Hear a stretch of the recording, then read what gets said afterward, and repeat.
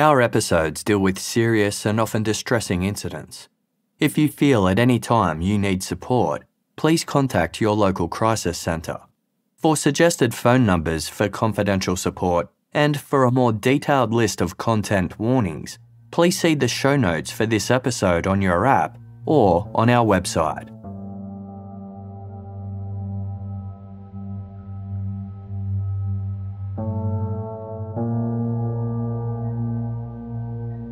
Bharti Mandal had only worked for the Talwar family for a week, but had already settled into a rhythm. The 35 year old housemaid had recently relocated to the Indian capital of Delhi in search of work. She was soon hired to clean the home of Rajesh and Nupur Talwar, a husband and wife who lived in the south Delhi suburb of Noida. Rajesh and Nupur were both dentists with busy schedules and needed someone to cover for their usual maid who was on leave.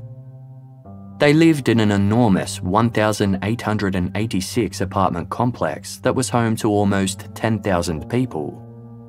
Bharti would visit their three bedroom home twice a day to dust, clean the floors, and wash the dishes.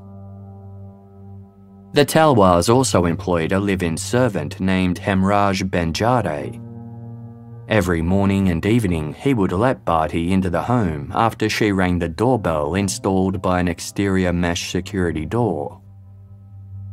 At 6am on Friday, May 16, 2008, Bharti arrived for her first shift of the day. She rang the doorbell as usual, but Hemraj didn't appear. Bharti rang the bell a second time, and when she was again met with no response, she figured Hemraj was just taking his time. She walked up a set of stairs where the family's bucket and mop was kept and carried them back to the front door. Still, there was no sign of Hemraj.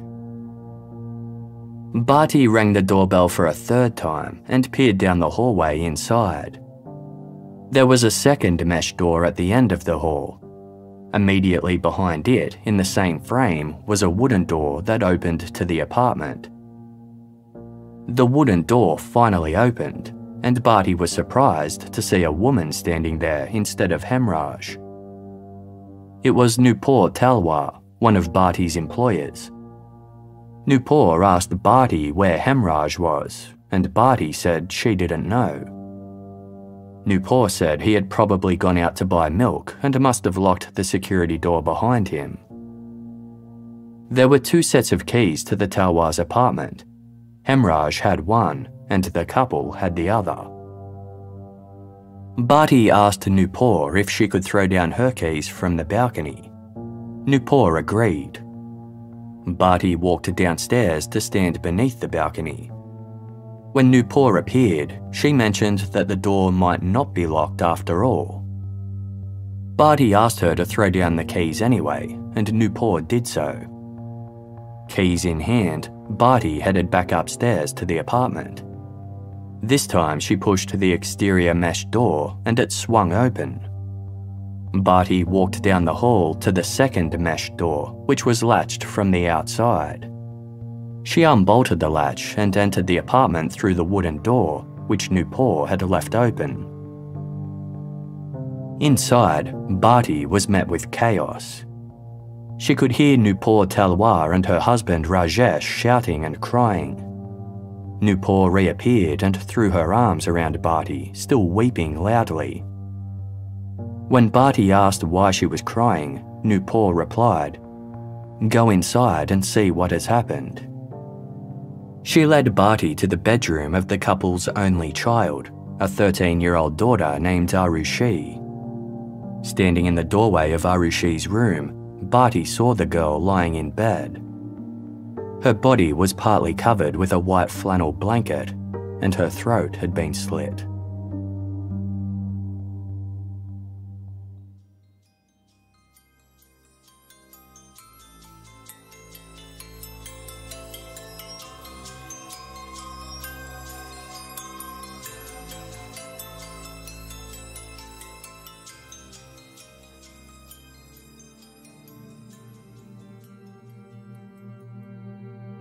After Nupur Talwar had answered the doorbell, she'd picked up the family's landline phone and dialed Hemraj's mobile to see where he was. Her call was answered, but the person on the other end said nothing. After a few seconds, they hung up. At the same time, Rajesh Talwar was getting out of bed. When he walked into the family's living room, he immediately noticed a bottle of Ballantine's Scotch whisky sitting on the dining table. It was two thirds empty. Neither he nor his wife had been drinking the night before, and the bottle hadn't been there when they went to bed at 11:30. Most troubling of all, there were several bloody fingerprints smeared across it. Rajesh pointed out the bottle to Nupur then the two of them went to check on their daughter. Aarushi always slept with her door closed and locked from the inside. But that morning, the door was slightly open. When her parents walked in, they immediately noticed the walls were spattered with blood. Aarushi lay on her bed, covered with a white flannel blanket. Her head was partially concealed by a camo tote bag she owned. The pillow under her head was blood soaked, and the blood had dripped onto her mattress and the floor below. Nupur lifted the blanket, and both parents saw a large cut across their daughter's throat. Aarushi's head hung to one side, her skull crushed just above her left eye. Strangely, there was no blood on the blanket and bag covering Aarushi nor was there any on her stuffed toys that surrounded her, including a bunny rabbit on the bed's headboard and a large Bart Simpson doll on the mattress. It was as though these items had all been placed there after the attack. Rajesh tried to straighten his daughter's head, though it was clear she was deceased.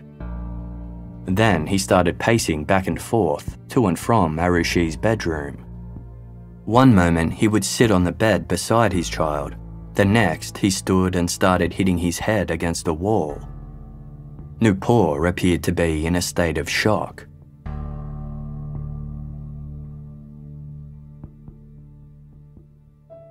When Bharti returned to the apartment to start cleaning, a crying Nupur led her to Aarushi's room. Bharti stood stunned as she took in the violent scene. Finally, she managed to ask the Talwars if she should tell the building security guards. They said yes, and Bharti hurried off. Meanwhile, the Talwars began calling their closest loved ones, all of whom lived in the same large complex. These included Nupur's parents, Rajesh's brother and his wife, and their friends, the Duranis, a married couple who were also dentists. Soon, all were gathered at the Talwar's apartment. Word spread throughout the tight knit community, and the four couples were eventually joined by neighbours, curious passers by, and members of the media. About an hour after Aarushi's body was discovered, the first police officers arrived. They made no attempt to cordon off the crime scene as people wandered through the apartment, examining every room. A portion of Aarushi's mattress was cut out and taken off for forensic testing, along with her blood-stained sheets, pillow, and clothing. There was no blood in any other part of the home except for five bloody fingerprints on the bottle of whiskey on the dining room table. It appeared that nothing had been stolen from the Talwar's home.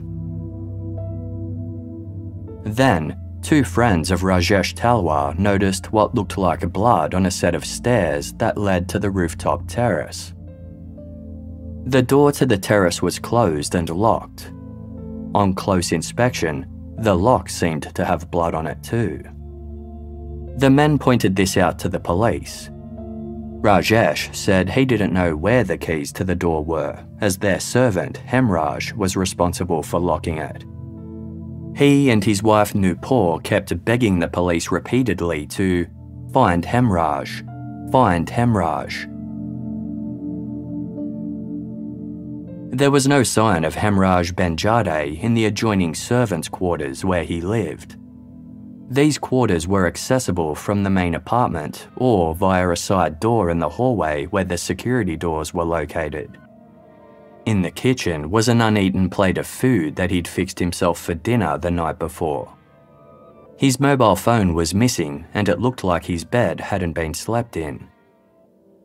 The Talwars tried calling his phone again, but it now appeared to be switched off. Rajesh and Nupur Talwar were convinced that he had killed their daughter.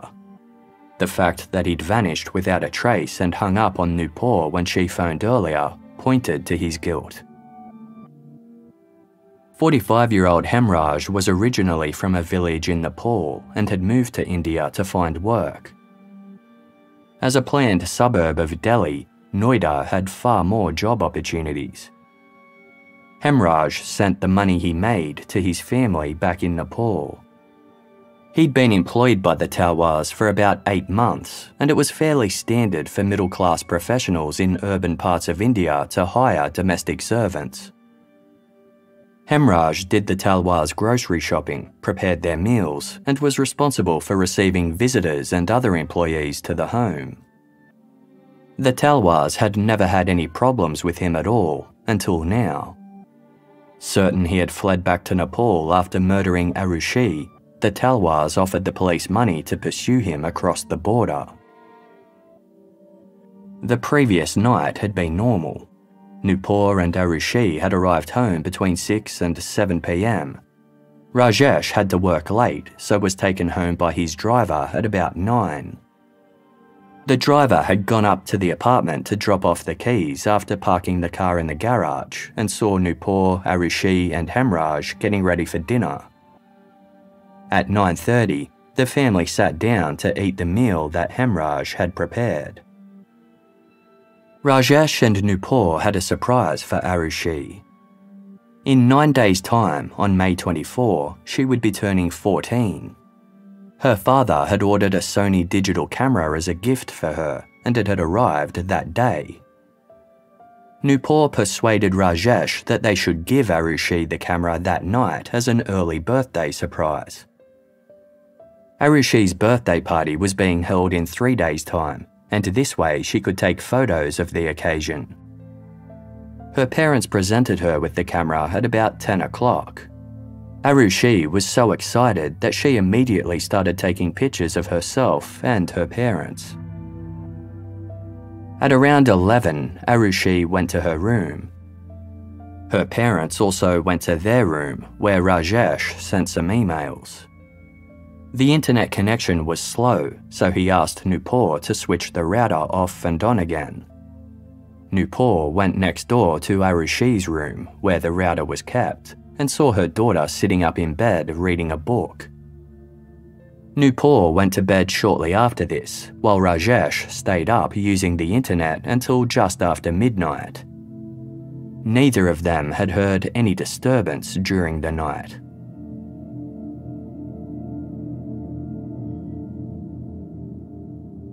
Nupur told investigators that she couldn't remember if she had closed Aarushi's bedroom door after going in to reboot the router. Normally she would, and the door would automatically lock behind her.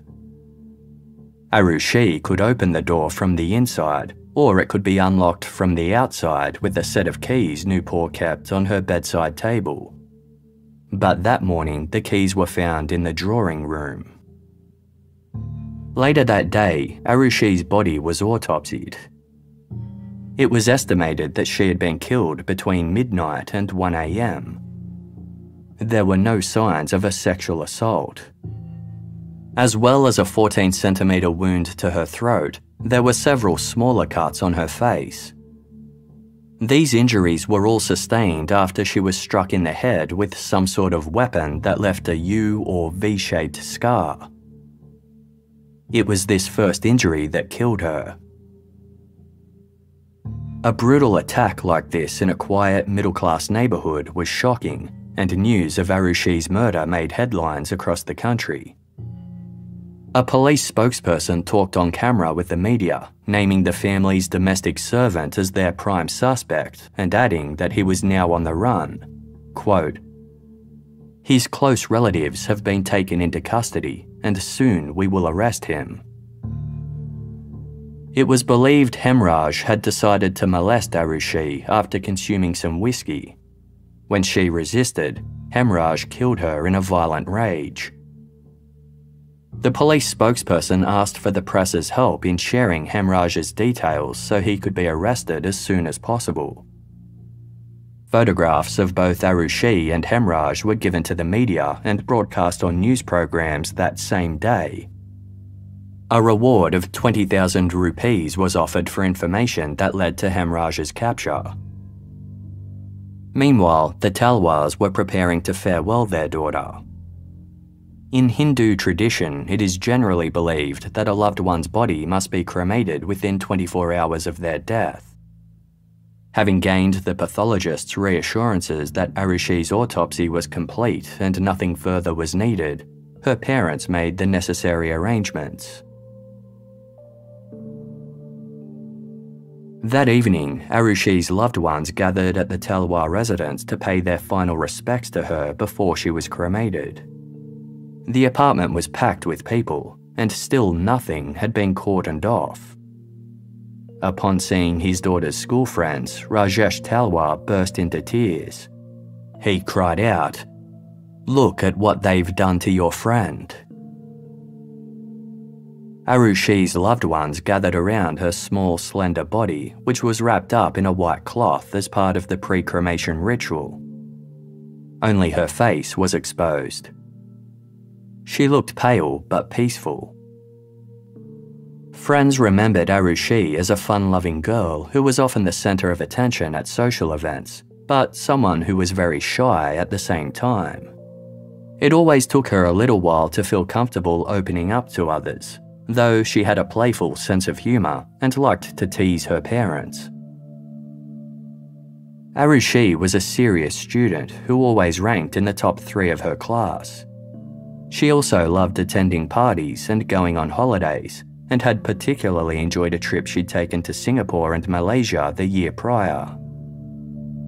She had been happiest when surrounded by her family and friends. Just four days before she was murdered, Aarushi had given Nupur a card for Mother's Day that read in part Mum, you are the best. After all, you are the one who will always be there for me. The following morning, Rajesh and Nupur Talwar left with Aarushi's ashes for the city of Haridwar, located about 217 kilometres northeast of Noida. Haridwar is a Hindu pilgrimage site and is where the river Ganges exits the foothills of the Himalayas. The river is seen as a gateway to heaven following death. It is believed that scattering a loved one's ashes in the Ganges will help them rest in peace. Meanwhile, KK Gautam, a retired deputy superintendent of Noida Police who was something of a local celebrity, headed over to the couple's apartment to offer his condolences. Relatives of the Talwars had cleaned the residence the previous evening while police milled about. Gautam was met by Rajesh's brother, Dinesh, who complained to him that the lock to the terrace still hadn't been opened. The Talwars had given permission for the lock to be broken the day before, but investigators had been unable to find a locksmith. Looking at the staircase that led to the terrace, Gautam saw what looked like spots of blood. He immediately wondered if Aarushi's killer had escaped via the rooftop or hidden the murder weapon up there. Gautam called the superintendent of Noida Police and demanded to know how officers had missed seeing the bloodstains the day prior. The superintendent rushed to the apartment with a senior officer, and the terrace door's lock was broken. Gautam and Dinesh Talwar headed out to the terrace along with the superintendent. They immediately saw that the cement was stained with an enormous pool of blood. Further away were some bloody drag marks that led to a corner of the rooftop. A panel from an air cooler had been torn off and clumsily placed on top of something that was slumped in the corner. It was a human body, clearly deceased and badly decomposed due to India's hot summer sun. The body appeared to belong to a middle aged man.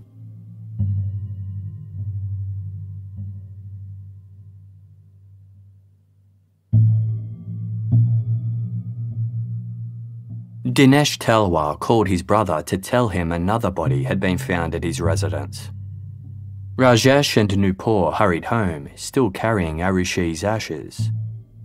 Rajesh was asked if he could identify the body, but the man's face was too swollen and disfigured to recognize.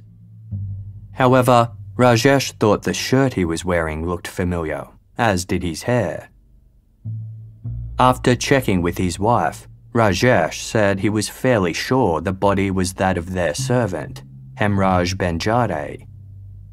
The number one suspect in the case had turned out to be a second victim. Like Aarushi, Hemraj had been killed with a weapon that left a U or V shaped scar. His wound was to the back of the head, then his throat had been slashed. It was estimated that both victims had been killed between 12 and 1 am. It turned out that the blood on the bottle of whiskey belonged to both Hemraj and Aarushi, indicating the killer touched the bottle after the murders. However, no identifiable prints could be collected from the marks left. On the terrace was a bloody footprint made by a size 8 or 9 shoe. This hadn't belonged to Hemraj, as he was found wearing his slippers.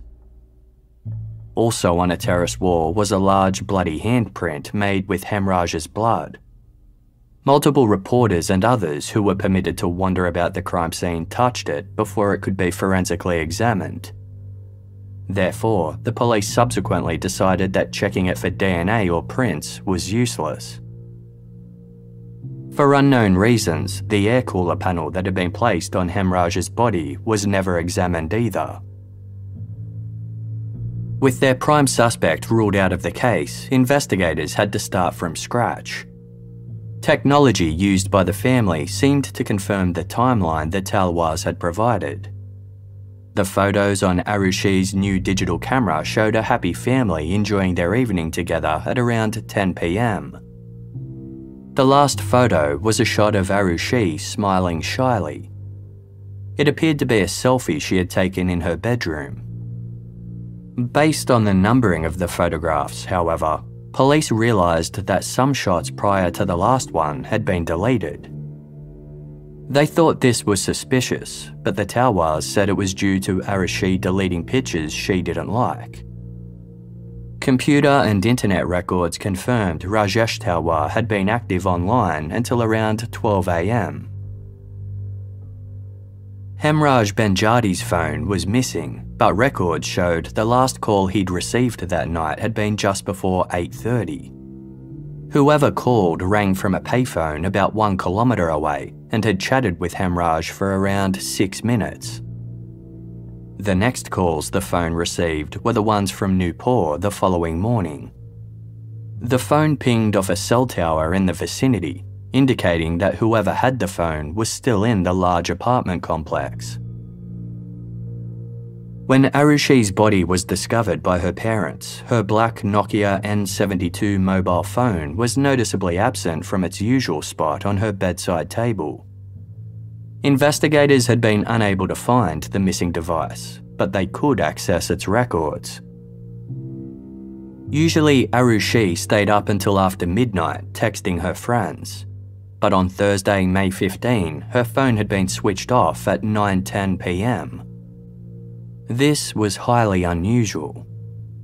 Her parents said that she had complained about the phone not working properly and they discussed getting her a new one.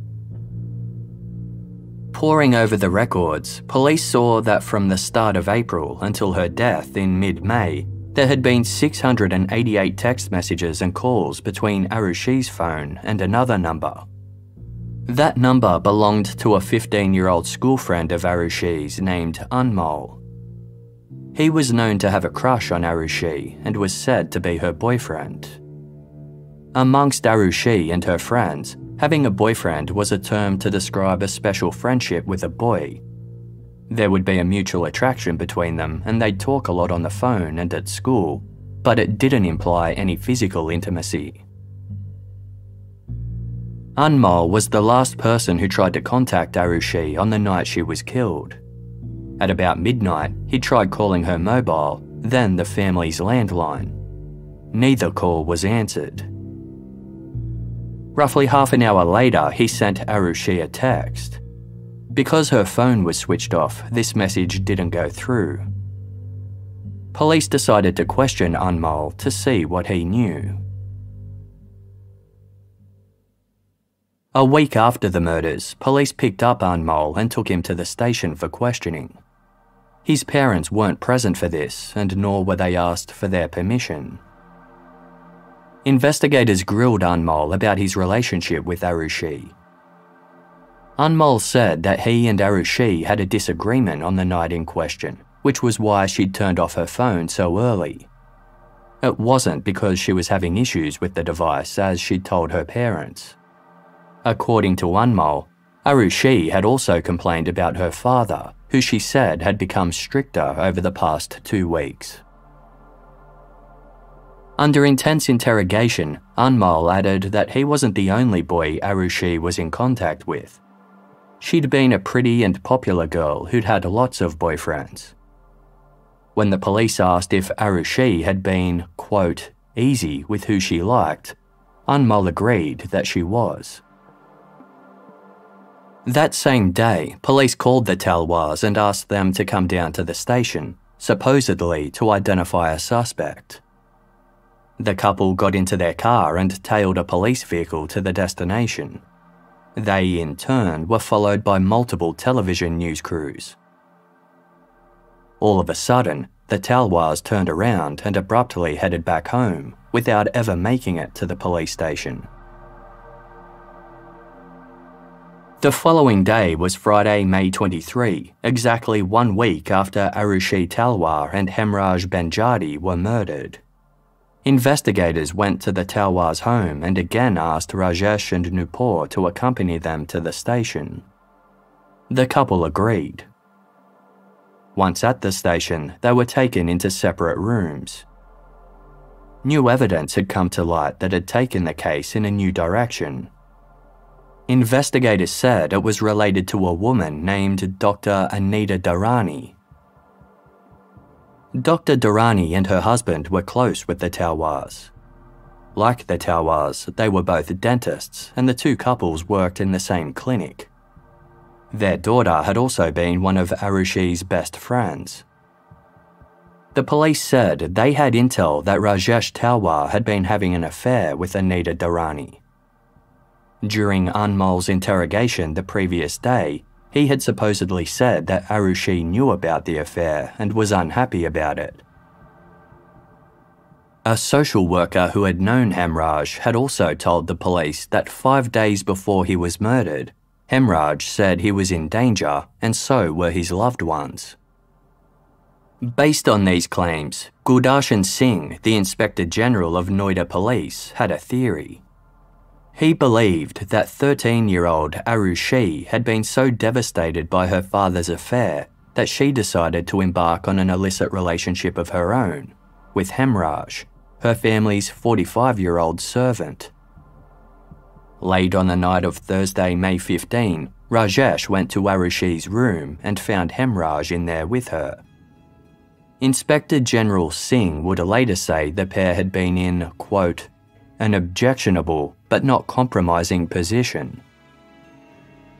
Enraged, Rajesh Talwar took Hemraj up to the terrace and brutally slaughtered him. Then he went back downstairs and drank some whiskey before making his way to Aarushi's room. While his daughter lay in bed, Rajesh murdered her in an honour killing, a crime in which a family member is killed to supposedly protect their family's honour. Such killings have been reported from the northern parts of India, which was where Rajesh was originally from. Rajesh was confronted with video footage that seemingly bolstered the police theory. It showed him and Nupur the previous day suddenly turning around when they were supposed to be going to the police station. Investigators said this was evidence they had tried to flee. Rajesh explained that the reason they had turned around was because the police had called and told them not to come down after all. He denied having an affair or ever doing anything to harm his child. After getting married, the Talwars had tried to have children for five years without success and had finally used IVF to conceive Aarushi. She was their only child and a much loved daughter. Nevertheless, Rajesh was informed that he was suspected of committing the double homicide and placed under arrest.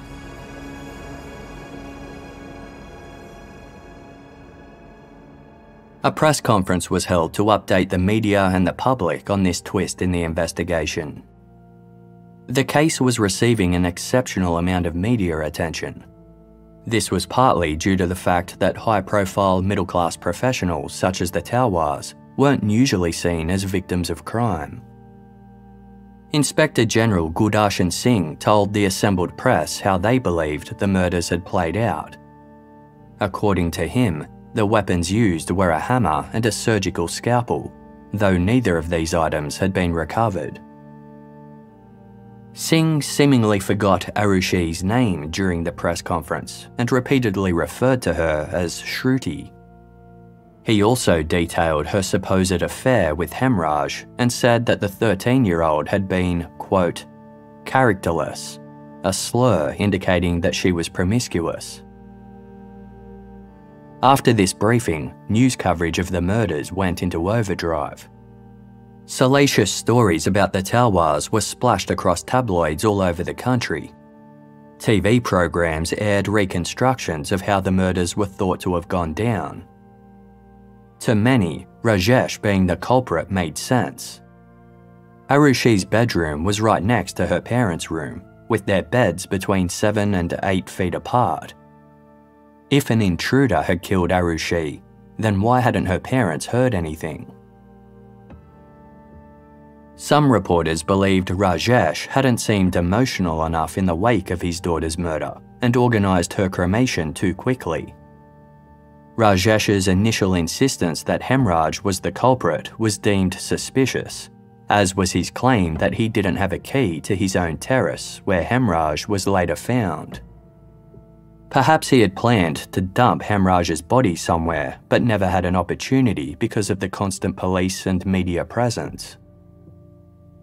Rajesh insisted that he was being framed. While some who were close to him offered their support, others turned against him. Although he and Nupur retained the dental clinic they owned, Rajesh was fired from a position he held at a hospital. A few days later, police seized Rajesh's laptop and the hard drive from Aarushi's computer. They wasted no time in leaking Aarushi's emails, social media interactions, and WhatsApp messages to journalists. Select portions of Aarushi's messages were printed and shared by India's media. Emails she'd sent to friends were said to confirm her promiscuous tendencies as they referred to boys and contained objectionable words. There was also one email to her father in which she apologised for having gone out with friends without a parent chaperoning them. This was seen as evidence of the father and daughter's fraught relationship, even though the email had a light-hearted tone. Nupur Talwar felt the need to speak up in her family's defence, despite police recommending she avoid the media. On Sunday, May 25, Nupur gave a one on one television interview with the English news station NDTV. Looking exhausted but composed, Nupur said the Talwars were like any other household, and there was no way her husband could be responsible for the murders. She told the interviewer I was living in that house. I was sleeping next to Rajesh that night. It's not even possible. When asked what she believed had really happened, Nupur said she had no idea. When she had discovered her daughter's body that morning, she immediately thought Hemraj had done it. After realizing he was murdered too, she suspected the culprit was someone who had some kind of hostility with Hemraj.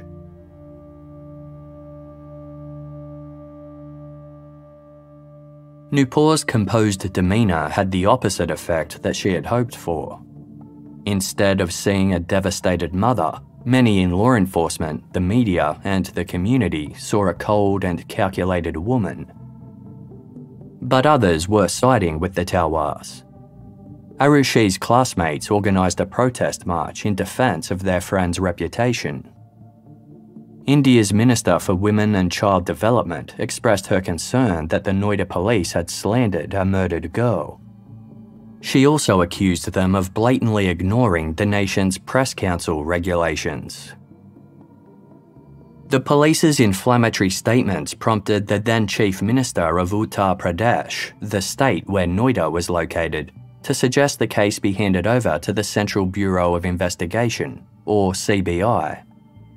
The CBI is India's national investigative agency and was originally created to investigate government corruption.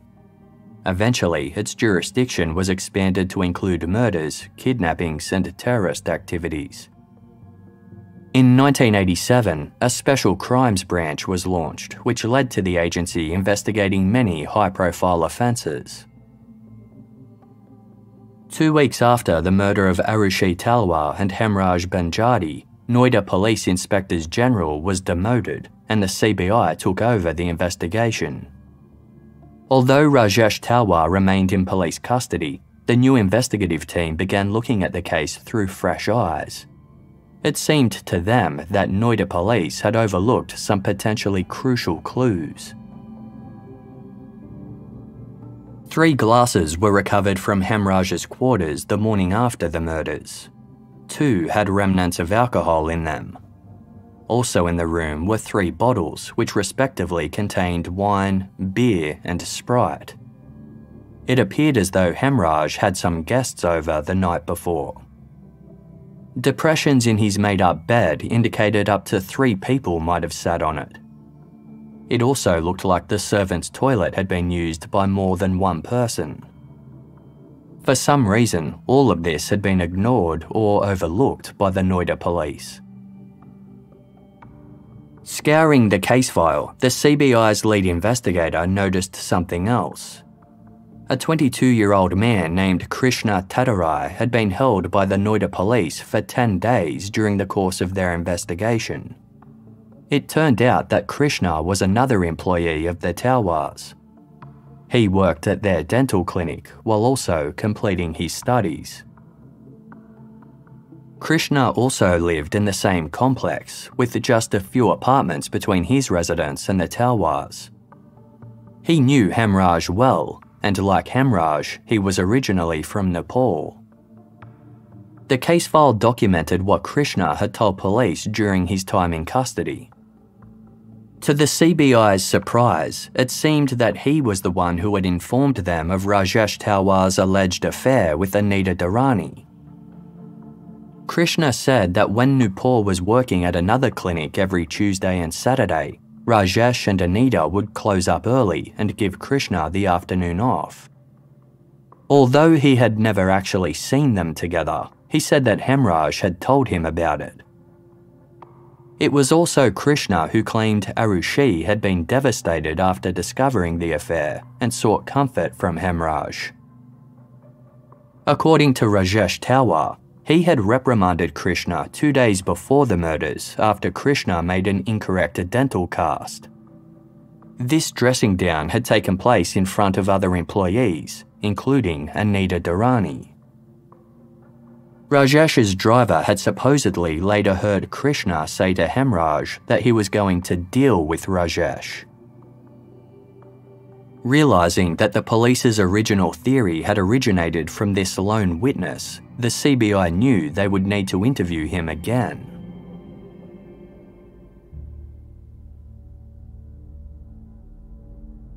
On Thursday, June 12, Krishna Thadarai was taken into custody. While being interrogated by the CBI, he confessed that he had been in the Talwars apartment on the night of the murders.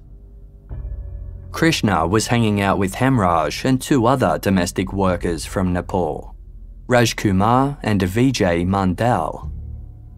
Rajkumar was a little younger than Krishna and worked for the Talwar's good friends, the Durranis. People who knew him said he was likable and easygoing.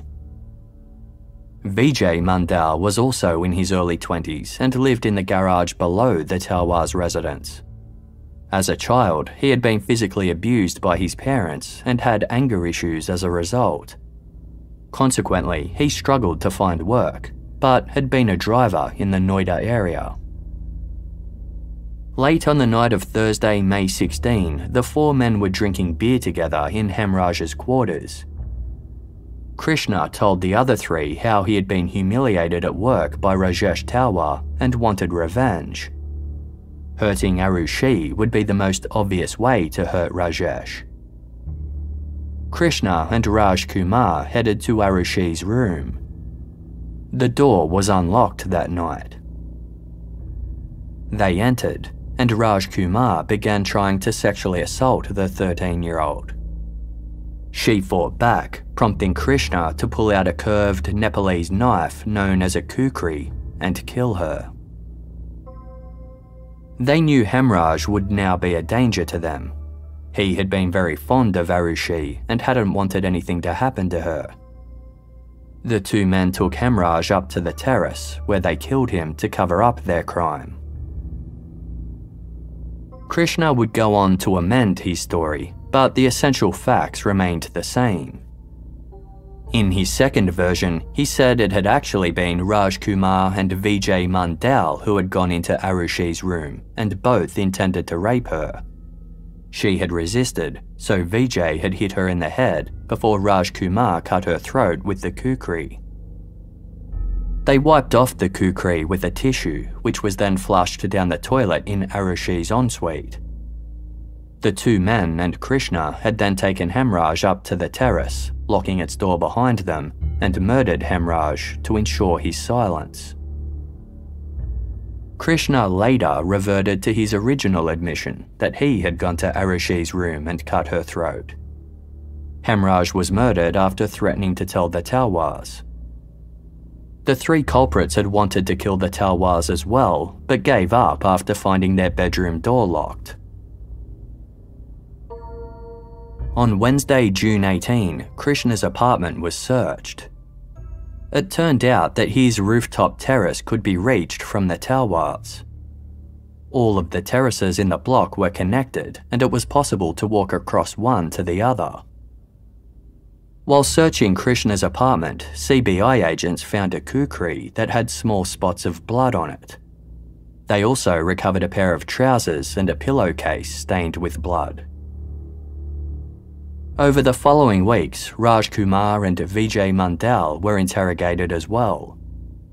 Both had admitted that they had been with Hemraj on the night of the murders and told variations of the same story Krishna had shared. There were some key differences though. Vijay said a fight had broken out between Hemraj and a drunken Krishna right before Aarushi was killed. Raj Kumar was more resistant to confessing and said he hadn't committed the murders. He pointed the finger at Krishna instead. The men said they had destroyed Aarushi and Hemraj's mobile phones. All three were arrested for the double homicide, and Rajesh Talwar was released from jail. By this time, he had spent 50 days behind bars. Despite having obtained three confessions to the crime, the CBI was left with a major problem. All of the confessions had been made under what is known in India as the narco analysis test. This test involves the subject being injected with sodium pentothal, which some refer to as truth serum. This drug renders the suspect sedated in a trance like state it's believed that in such a state, their imagination is neutralized and therefore they are only capable of telling the truth. They also exhibit no resistance to being questioned. Law enforcement agencies in India have been permitted to use narco-analysis as an investigative tool, similar to a polygraph test. But like a polygraph, results of narco-analysis are not permitted as evidence in a court of law. This is because the altered state of consciousness experienced by the suspect renders them more susceptible to influence and incapable of judging the consequences of what they're saying. The science behind narco-analysis is dubious, and the results from such tests are often inconsistent. Investigators had filmed the suspects being interrogated while under narco-analysis, and these videos were later leaked to the press. They showed the men barely conscious and mumbling answers to questions that were often leading. Krishna's supposed motive of wanting revenge against his employer after being told off at work also seemed weak compared to the brutality of the crimes. His family said that Krishna had been forced to undergo narco analysis against his will and was also beaten by investigators. They believed he was the victim of anti Nepalese prejudice all three men also claimed to have alibis for the night of the murders. Krishna's family and landlord said he'd been at home. Vijay Mandal's employer said the same for him. Anita Durrani, who was Raj Kumar's employer and a target of the original Noida police investigation, could vouch for Raj Kumar also being at home until at least 12.30am. He might have snuck out after everyone went to bed, but it would take him at least 20 minutes to reach the Talwar's residence, and that didn't fit with the investigation's timeline. CBI agents hoped they would find something tangible that tied the trio to the double homicide, such as fingerprints or DNA from the crime scene. But nothing emerged. Testing of the blood on the kukri found in Krishna's home revealed that it wasn't human, though it couldn't be determined what kind of animal it came from either. The blade also seemed too blunt to have resulted in the cuts to the victims' throats. In any case, it no longer seemed that the CBI had found one of the murder weapons. During early September, all three suspects were released from custody due to a lack of evidence.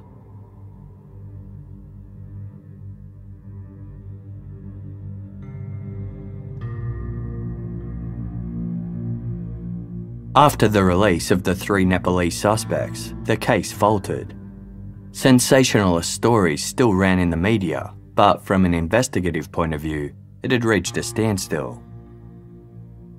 Then, one year later, in September 2009, there was a breakthrough.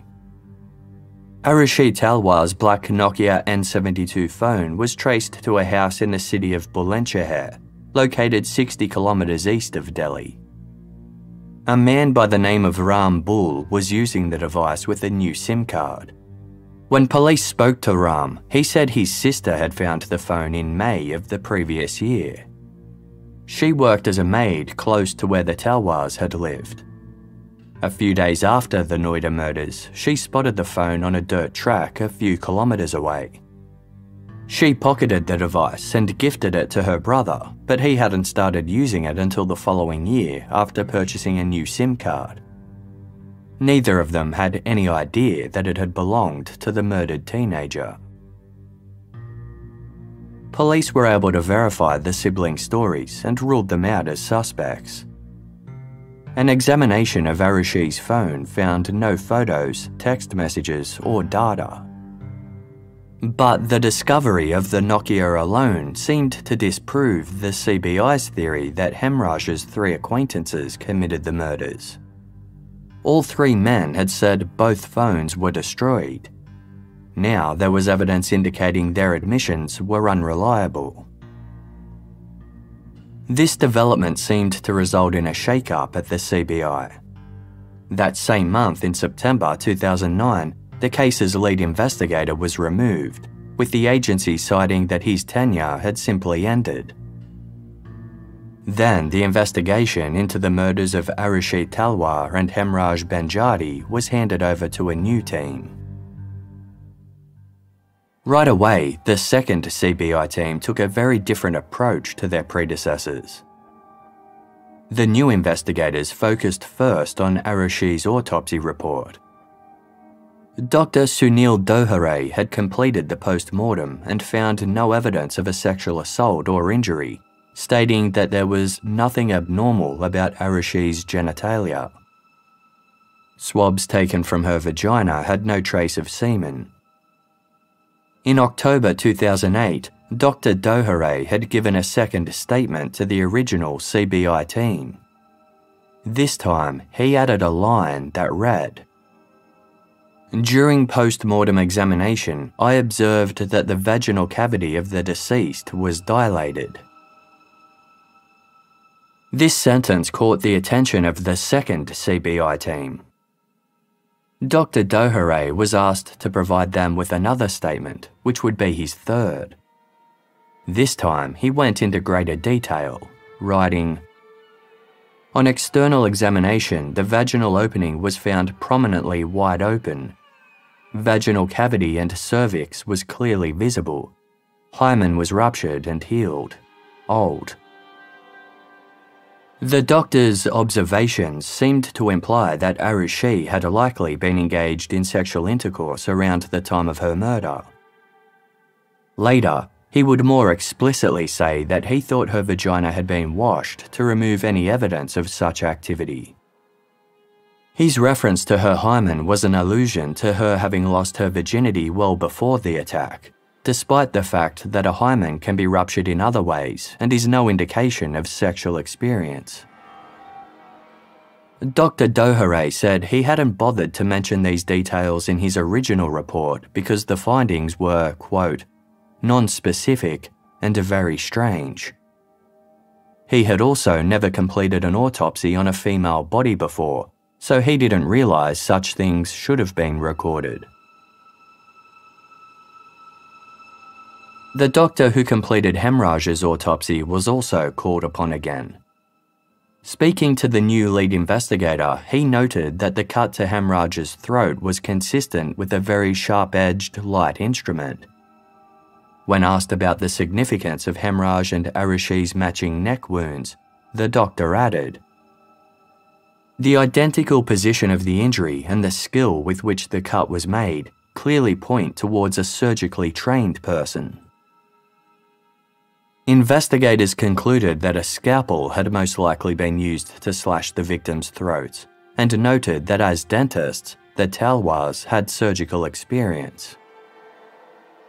Examining the crime scene photos, investigators also came to the conclusion that the weapon used to hit both victims in the head was a golf club.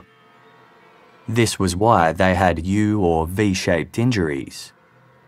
As it happened, Aarushi's father, Rajesh, was an amateur golfer and owned a set of clubs which were kept in Hemraj's quarters. A forensics expert was asked to analyse the crime scene based on photographs and a visit to the apartment, which the Talwars had long since vacated. After studying pictures of Aarushi's blood-stained bedroom, he pointed out that there appeared to be two distinct impact splatters on the wall behind the bedhead. He believed this meant they had come from two different victims, meaning Aarushi and Hemraj were attacked in the same room at the same time. This supported the theory that the pair were together in bed when they were murdered. Then the killer dragged Hemraj's body up to the terrace to conceal it. Blood found on the staircase leading to the terrace was seen to confirm this. The fact that the stuffed toys on Aarushi's bed had no blood on them pointed to the killer dressing the crime scene after the murders. The way they had covered Aarushi's body with a blanket and her favourite bag also suggested a personal connection to the victim. To the new team of investigators, all the evidence was pointing back to a theory the Noida police had cited from the start Aarushi Talwar had been having an intimate relationship with Hemraj Banjade, and the two were victims of an honour killing. On Monday, May 24, 2010, which would have been Aarushi's 16th birthday, an article about the new investigation was published in English language newspaper The Pioneer. Quoting several unnamed CBI sources, the story hinted that Rajesh Talwar was again being considered as a suspect. Rajesh objected to the article, prompting the CBI to deny ever speaking with the publication. Seven months later, in December, the agency concluded their investigation and released a final report on the case. In it, they officially cleared Krishna Thadarai, Raj Kumar, and Vijay Mandal of any involvement. As well as pointing to the trio's alibis, investigators said the servants wouldn't have dared drink alcohol late at night in the home of one of their employers. The CBI also ruled out the possibility that an intruder committed the crimes, citing the lack of forced entry or motive. It was pointed out that an intruder would have no reason to hide Hemraj's body or stage Aarushi's room. Ultimately, the CBI concluded that circumstantial evidence pointed to Rajesh Talwar committing the murders in a fit of rage after finding Hemraj in bed with his daughter. His wife, Nupur, was accused of helping to cover up the crime. Only those who lived in the apartment would have the time and access required to clean Aarushi, remove any trace of Hemraj from her room, and stage the scene. However, there was a total lack of physical evidence, due in part to the original investigators failing to secure the crime scene.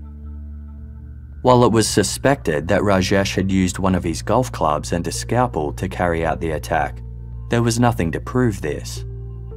They had no blood-stained clothing, fingerprints, or DNA confirming Rajesh was the killer.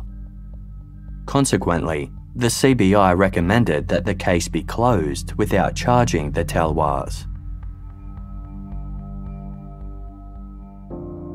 Rajesh and Nupur Talwar were devastated by this turn of events.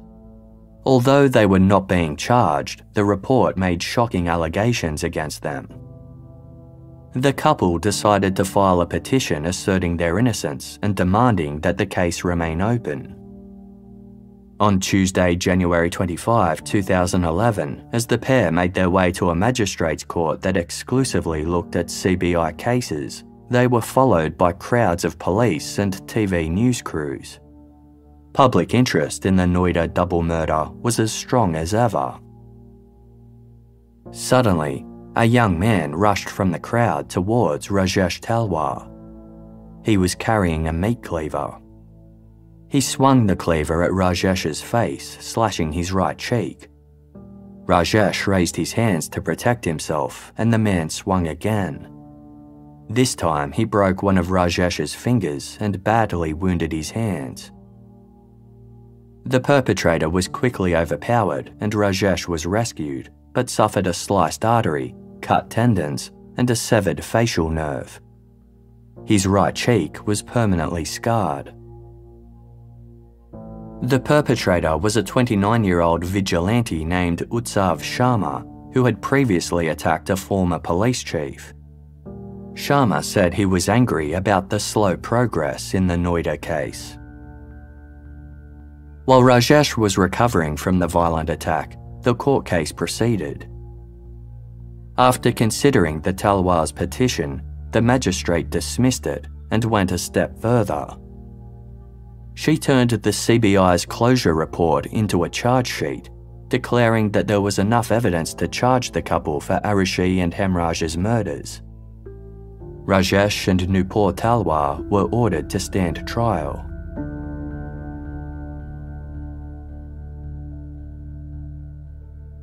The Talwars appealed the order, first at the state's High Court and then at the Supreme Court. They lost both appeals, and their trial began in May 2013, five years after their daughter's murder. As well as having to answer two counts of murder, they were charged with destroying evidence. The prosecutor presented the court with the CBI's theory of how the murders had unfolded.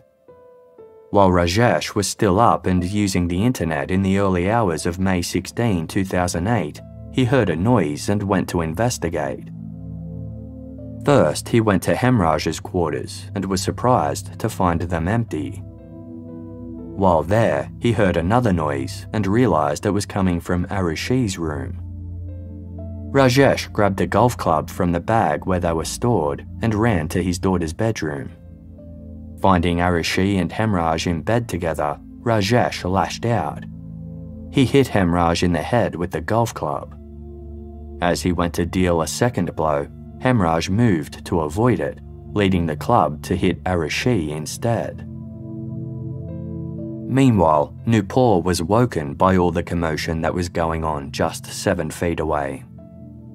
The CBI believed it was impossible for her to miss when her bed was one room away and less than eight feet from Aarushi's.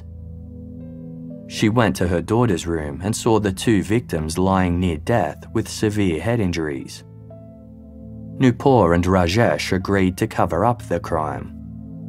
They wrapped Hemraj in a bedsheet and dragged him to the terrace where they cut his throat before concealing him with the cooler panel. The plan was to dispose of him properly later. To ensure the crimes looked identical, they then cut their daughter's throat before cleaning her body to hide any sign of sexual activity. They also cleaned Hemraj's blood from the floor and disposed of any bloody clothing, as well as the scalpel or similar weapon used to cut the victim's throat. Afterwards, Rajesh sat in the living room and drank some whiskey to calm down. A key witness for the prosecution was Bharti Mandal, the maid who had just started working for the Talwars at the time of the murders. She was the first person to arrive at the scene and said that when she tried to open the first of three doors to the apartment, it hadn't budged. The CBI argued that the Talwars must have latched the door from the inside. This proved that they were the killers, because an intruder wouldn't have been able to do such a thing and still flee the apartment. Bharti had asked Nupur to throw down the keys to her so she could let herself in. The CBI suspected that while Bharti waited below the balcony, Nupur entered the hallway and unlatched the first door so Bharti could open it. After she threw down the keys, Bharti returned to the first door. This time it opened when she pressed her hand against it. Other evidence the CBI called on was the large palm print made with Hemraj's blood on a terrace wall and the smeared bloody fingerprints on the whiskey bottle. They said that Rajesh Talwar had been wearing surgical gloves while carrying out the crime, which left a larger than usual handprint and made collecting fingerprints impossible. The defense set about trying to refute all of these points.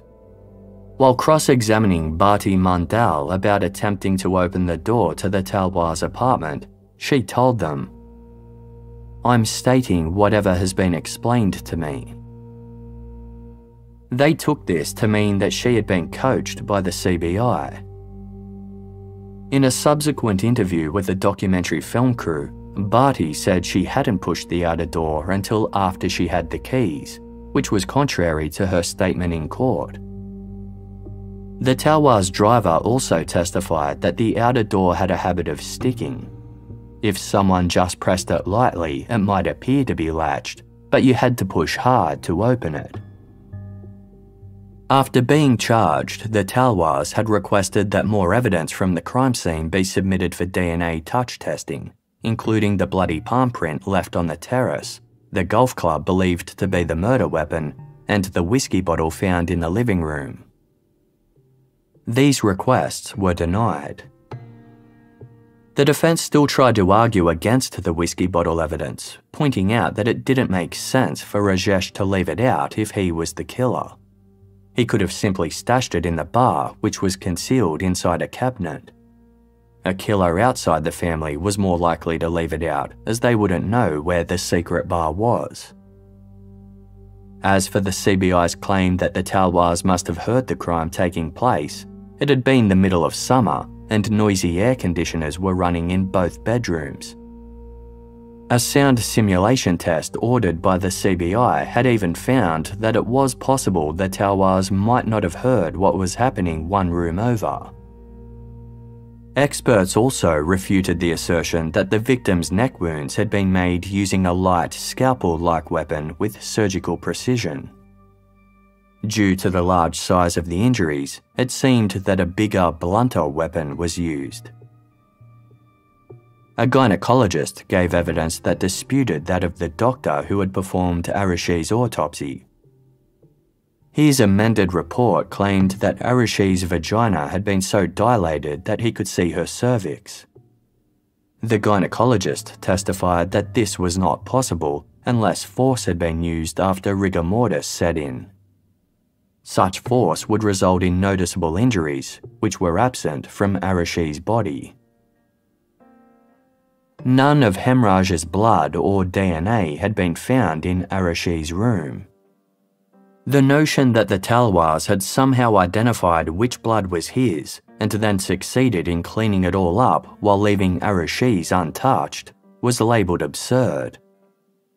The defence argued that Hemraj had been killed on the terrace, as originally agreed, the blood on the staircase leading up there hadn't come from the Talwars dragging his body, but from Aarushi's mattress.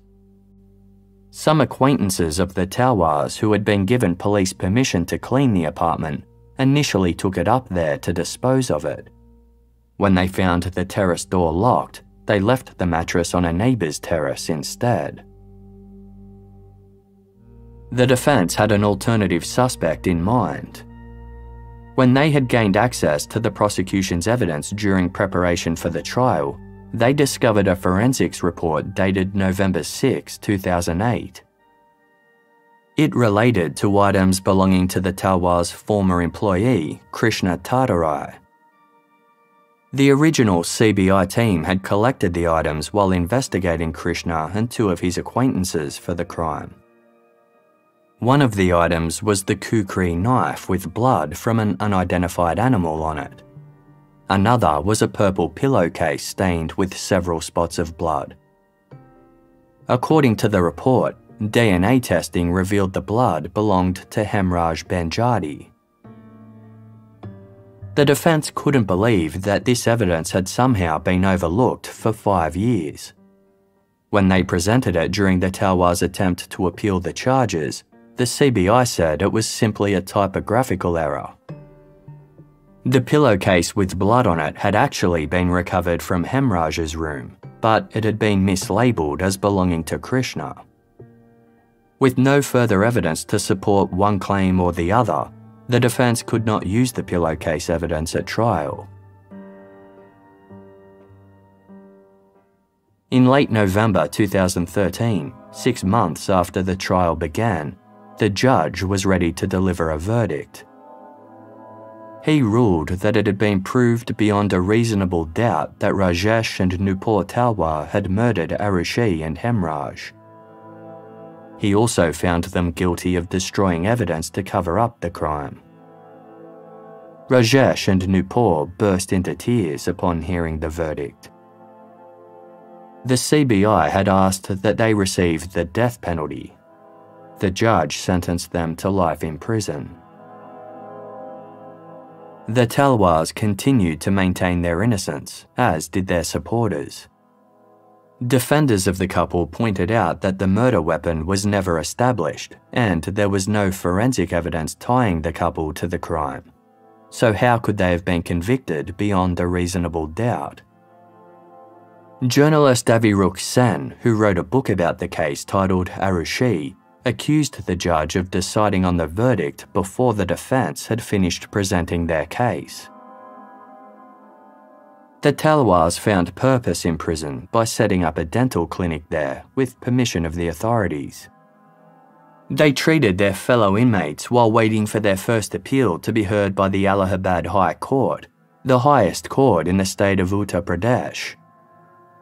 Almost four years after they were incarcerated, the High Court found that the evidence presented by the CBI was not sufficient to find them guilty beyond a reasonable doubt, In a scathing 273 page report, they said the CBI had miserably failed to find evidence to support their theory of the crime. Rajesh and Nupur Talwar were both acquitted of all charges and allowed to return home. Some were angered by this decision. The CBI announced their intention to challenge the ruling at the Supreme Court. The Supreme Court agreed to hear the appeal, but there have been no further updates and the case remains unsolved as of mid 2023. In the Nepalese village where Hemraj Banjade was from, many of his family and friends are certain that the Talwars were guilty. Hemraj's wife, Kumkula Banjade, has spoken publicly of her conviction that Rajesh Talwar killed her husband. Who else would do this? She asked in a 2017 documentary series titled Aarushi Beyond a Reasonable Doubt.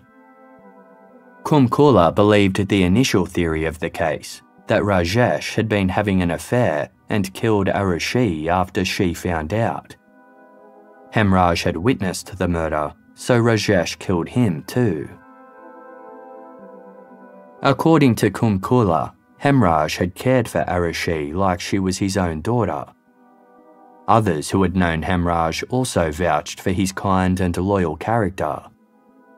A woman who'd employed Hemraj for 15 years prior to him joining the Talwar household said he had always been protective of her children, to the point of intervening if she or her husband were angry with them.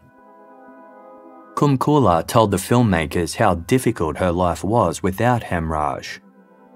He had moved to India to find work and provide for his family, but he made sure to return once or twice a year. He would stay for about a month before going back to India. Almost a decade after his death, Kumkula still missed him constantly and found it hard to believe he was gone. To make matters worse, it felt like her husband was the forgotten victim of his own murder. Quote, There's an emptiness in everything. How do I put it in words? Dr. Talwar has money, so everyone only talks about his daughter's murder. We are poor, so who will stand up for us? Others see the Talwars as victims of corrupt policing agencies, a flawed justice system, and a media circus. Journalist and cousin of Nupur, Shree Paradkar, wrote an article about the case for Toronto Star. She'd explained that they'd assumed the CBI was independent of the state police who botched the first investigation. But it turned out the CBI officers who charged the Talwars were colleagues of the Noida police. Issues of class and social mores may have contributed to the Talwars' prosecution. The couple were urban middle class professionals who spoke English and were university educated they had fairly liberal values and a relationship with their daughter that was more open and easygoing than many Indians were accustomed to. Aarushi was permitted to talk to boys, go out with friends, and could be cheeky with her parents. Most of the police officers and CBI investigators responsible for the case came from more conservative backgrounds. Elements of the Talwars' lives, which were quite normal for middle class Indian families, appeared foreign and troubling to them. Their cosmopolitan lifestyle led to allegations that the couple had affairs and engaged in swinging. The fact that Rajesh and Nupur didn't cry in public after their daughter's murder also seemed suspicious. When confronted by this, they argued that no one saw how much they cried every day in the privacy of their home. When journalist Avirook Sen visited the Talwars at their home, they showed him keepsakes they had of their daughter. These included a letter Aarushi had written to Santa Claus for what would turn out to be her final Christmas. It read Dear Santa, Merry Christmas to you. I know you will be tired from running here and there giving children what they wanted, but I want something totally different I want the well being of my family. I want no harm to reach them. Please fulfill my wish. My second wish is that I want my parents to always be with me, and my friends too. My third wish is a bit silly. I want a dog. Not from you, but from my parents. I wish they'd agree. Reflecting on the letter, Rajesh said in a sad voice, He didn't fulfill even one of her wishes, did he?